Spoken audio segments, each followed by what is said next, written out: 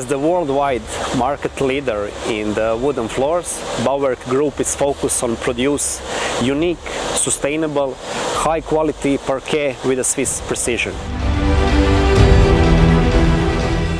Here in Bauwerk Group Đurđevac Croatian, we produce three-layer parquet. Parquet production and the raw material for parquet production is perfect example for the natural cycle. So oak tree is growing 120 years in the forest. After this 120 years, we on his place we plant a new oak tree and the old one we take for parquet production.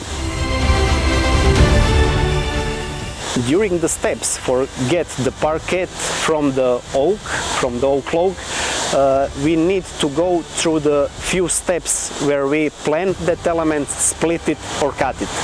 During all of that process we get a sawdust. That is not only the sawdust, that actually will be the RUF briquette.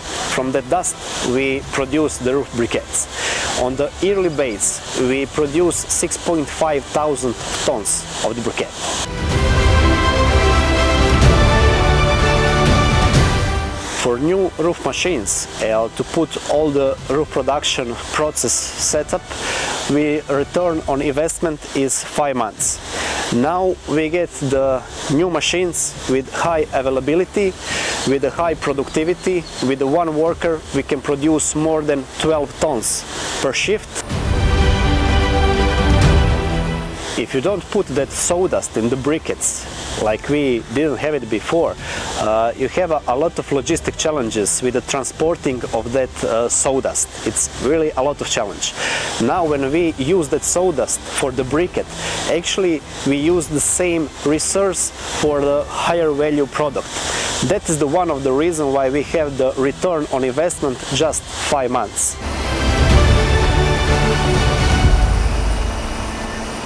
For the maintenance of the machine, I said it is a low maintenance what we need, but still uh, we have a great support for the RUF mechanics.